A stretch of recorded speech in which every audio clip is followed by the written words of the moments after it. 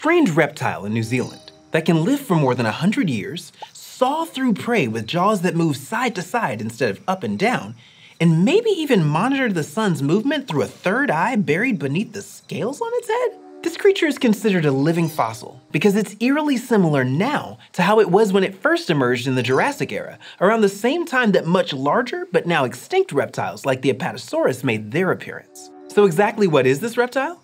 Well, broadly, it's a tuatara. But because the Brothers Island tuatara, as it's known, evolved in isolated conditions, whether it's classified as a unique species of tuatara has been up for debate. It turns out that the diversity of life on Earth isn't quite as simple as a branching family tree, where each limb and twig are distinct species, originating from a shared common ancestor. In reality, species are more like a network of streams branching off a big river. Those streams can diverge, cross with other streams, split away, and link back up again later. And it's not always clear where one section of water ends and another begins. Hi, I'm Dr. Sammy, your friendly neighborhood entomologist, and this is Crash Course Biology.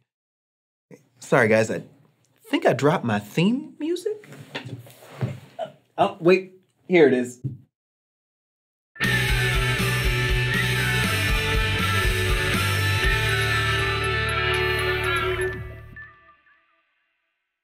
For most of the 1900s, the Brothers Island tuatara was recognized as the same species as another, less isolated population of tuataras. Lumping these two types into a single species gave the impression that the Brothers Island tuataras were doing better than they really were, surviving in a fairly widespread area in New Zealand. That is, until 1990, when DNA evidence suggested that the Brothers Island tuatara was in fact a distinct species. This led to special protections as it made clear how few of these creatures there really were. But then, in 2009, additional DNA evidence complicated the picture, showing that the Brothers Island tuatara are not quite as distinct as previously thought. So now we're back to thinking of all living tuataras as one species. What all this illustrates is just how tricky it is to draw clear lines between species. But we keep trying because where and how we draw those lines can impact how those species are protected and whether or not they survive. And understanding differences between species can help us piece a little more of life's great puzzle together. But where do new species even come from in the first place? The evolution of species is called speciation. And this process of one species splitting into two falls between the little view and the big view of evolution. Zoom in and there's microevolution. Changes in specific populations, like when a bunch of mosquitoes live in the same area, breed with each other, and develop pesticide resistance over time. Zoom way out, and there's macroevolution. Changes in broad groups of living things, the ones that feel like they should be spelled out in all caps. Now available on planet Earth flowering plants, dinosaurs, mammals, get them while supplies last. But in between, we have species. Groups of organisms that can potentially interbreed with other members of the same group and produce fertile offspring. That's according to the biological species concept, just one of the ways that scientists view species, and the one that we typically use in this series. Think of the biological species concept like this. A sleepy basset hound and a tireless border collie look and act like they're from different planets. But they can have a litter of weird looking puppies that can make more puppies, that's because they are the same species. Meanwhile, cross a zebra and a horse, and you'll get a bundle of joy known as a zorse. Personally, I would have gone with Hebra, but you know, okay, to each his own. This is considered a hybrid, a cross between two species. But sadly, that Zorse can't make more Zorse babies. Zebras and horses have different numbers of chromosomes, the structures that carry their DNA. The Zorse inherits a number somewhere in between and can't reproduce because of those chromosomal differences. But life, ever the wild and wonderful thing, sometimes breaks these rules. There are some hybrids that can reproduce. You might know of a few of them, without knowing that you know, if you've ever bitten into a juicy plumcot, otherwise known as a hybrid plum apricot.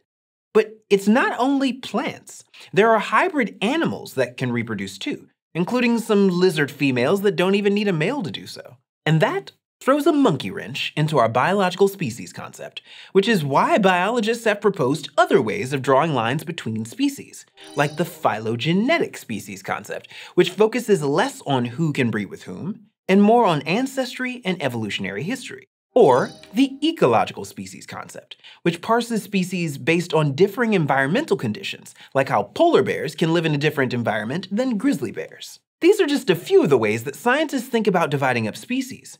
And we haven't even mentioned DNA testing as a tool to determine species, even though it got us into a pickle with the Tuataras. DNA analysis can help us understand how certain groups of organisms are distinct.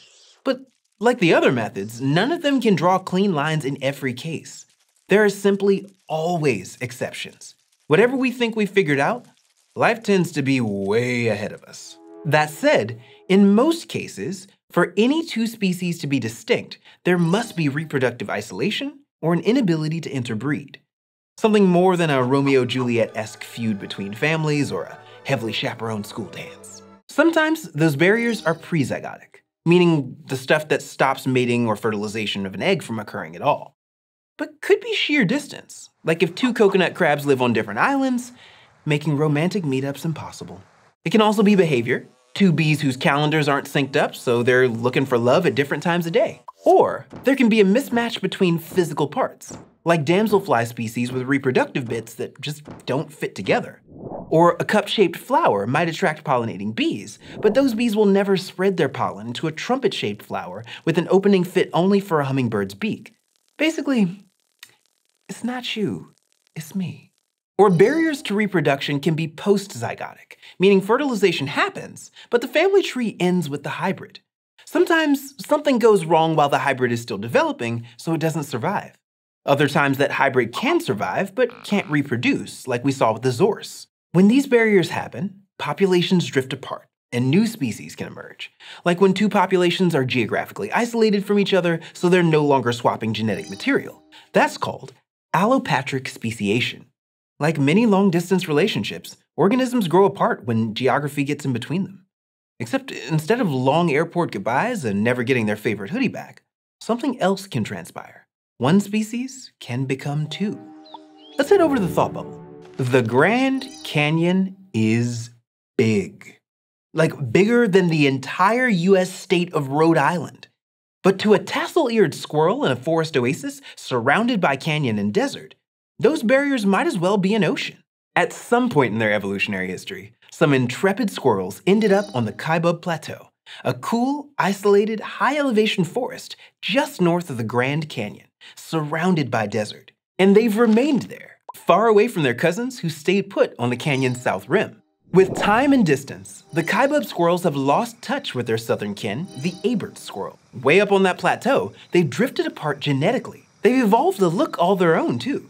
Smudged charcoal coats and creamy white tails. The Kaibab squirrels and the Abert squirrels still have some things in common, like tasseled ears and a huge appetite for ponderosa pine cones. But there hasn't been a family reunion since. So today, biologists consider the Kaibab squirrels a subspecies of the Abert squirrel different enough that they can't be lumped together, but not so much that they've become a new species. But the longer the Kaibab squirrels stay put on that plateau, the more they'll drift apart from their cousins, speciating in paradise. Maybe someday they'll be considered a species all their own. Thanks, Thought Bubble. So when geography sets populations apart, allopatric speciation can arise. But new species can also emerge without any isolation at all. Sympatric speciation happens among organisms on the same home turf. One way this can go down is when traits that attract mates become more common in a population over time, and that's called sexual selection. With enough momentum, it can send the speciation wheels a turning. Take cichlids, for example. Little fish that have diverged into over 500 different species in eastern Africa's Lake Victoria. No matter the species, the females prefer bright, flashy males. Among the bottom-dwelling species, males are mostly red, a color that stands out better on the bottom of the lake. In the shallower parts of the lake, blue colors catch more light, and more eyes from the choosy females, so surface-dwelling males tend to be blue. But as the environment changes around the species, the species themselves sometimes change. As Lake Victoria grows murkier from pollution, there's been more interbreeding between these once distinct species, It's harder for females to be choosy about colors when they can't see well. So as red and blue get blurry, so do the boundaries between species. And sometimes, two species that split off from each other find their way back together. Differences in habitat can also drive sympatric speciation. That's what's happening with these blind mole rats, for example, which live in an area split between two types of soil, Rendzina in one area and basalt on the other. Now that might not mean much to you or me, but it's a big deal between blind mole rats, who spend their lives tunneling through the stuff. And DNA shows that Rendzina specialized mole rats are sticking together, having Rendzina specialized babies, while the basalt loving mole rats are pairing off with fellow basalt lovers, and they've been slowly splitting apart for the past 200,000 years. But sympatric speciation can also happen really fast, in a single generation, through polyploidy, a process where offspring inherit more than two sets of chromosomes. Sometimes that's due to a mistake when either the sperm or the egg being used in fertilization has twice as many chromosomes as it's supposed to have. So instead of ending up with the same number of chromosomes as their parents, the offspring end up with twice as many, or three or four times as many, and so on. And they're most likely to reproduce with individuals that have the same number of chromosomes they do. Polyploidy can also happen when hybrids produce fertile offspring with extra chromosomes. So if a plant species with 10 chromosomes got together with a plant that had 12 chromosomes, their polyploid offspring would end up with 22 chromosomes. These polyploid hybrids can't interbreed with either parent species, but they can interbreed with each other. So in an instant, boom, new species. We have polyploidy to thank for the bread of our PB&J sandwiches. That's because wheat is a polyploid with six sets of chromosomes from three different species. In fact, over 80% of today's plant species have taken this speciation fast track at some point in their history. So the ability of two organisms to interbreed, or not, is a solid starting point for sussing out the boundaries between species. When there's a barrier to baby making, populations can drift apart, and that can send the speciation ball a rolling. In fact, it led to the dazzling display of diversity on Earth today. Next time, we'll zoom way out and get the really big picture of how life on Earth has evolved over billions of years. I'll see you then. Peace! This series was produced in collaboration with HHMI Biointeractive. If you're an educator, visit biointeractive.org slash crash course for classroom resources and professional development related to the topics covered in this course. Thanks for watching this episode of Crash Course Biology, which was filmed at our studio in Indianapolis, Indiana, and was made with the help of all of these nice people. If you want to help keep Crash Course free for everyone forever, you can join our community on Patreon.